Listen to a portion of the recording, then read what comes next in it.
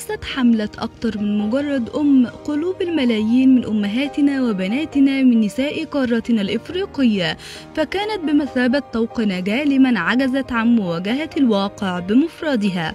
والدكتورة رشا كليدج الرئيس التنفيذي لمؤسسة ميرك الدولية الخيرية من ألقت أطواق النجاة هذه للمرأة الإفريقية التي لم تحظى بنعمة الأمومة واصطدمت بتقاليد مجتمعها السالبة لكافة حقوقها الآدمية.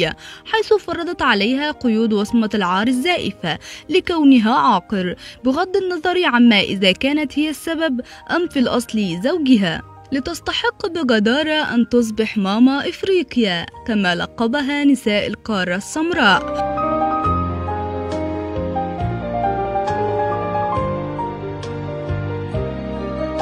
وأن تختارها مجلة نيو أفريكان الإنجليزية ضمن قائمة الأكثر تأثيرا في إفريقيا لعام 2019 وتعمل حملة أكتر من مجرد أم بالتعاون مع السيدات الأول لإفريقيا على تأهيل المرأة الإفريقية والقضاء على العادات والتقاليد المشينة والعدوانية التي تمارس ضد المرأة التي لا حول لها ولا قوة لتغير حياة المرأة التي تواجه حربا نفسية ومجتمعية شرسة تصل إلى تقطيع أطرافها وتشويه وجهها أو تتحول المرأة العقيمة إلى خادمة للزوجة الثانية وعليها مواجهة عقوبة الطرد وتصبح منبوذة من أسرتها لتعيش كالشحاذين. فتدعم حملة أكثر من مجرد أم الحكومات في تغيير السياسات لتعزيز الوصول إلى رعاية آمنة وفعالة للخصوبة.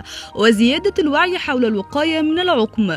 ووفرت تدريبات لأخصائي الخصوبة وعلماء الأجنة لبناء وتطوير قدرات رعاية الخصوبة في إفريقيا. فضلا عن دعم النساء غير العاملات لبدء أعمالهن التجارية الصغيرة للاعتماد على أنفسهن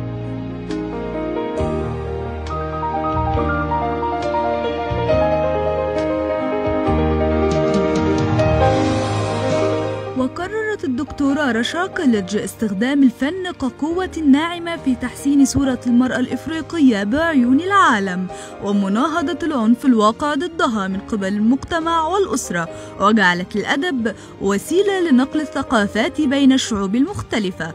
وأصدرت قصة كوفي وآما وهي قصة للأطفال. هدفها غرس القيم العائلية القوية للحب والاحترام منذ الصغر والتي تدرس حاليا بمدارس الدول الإفريقية.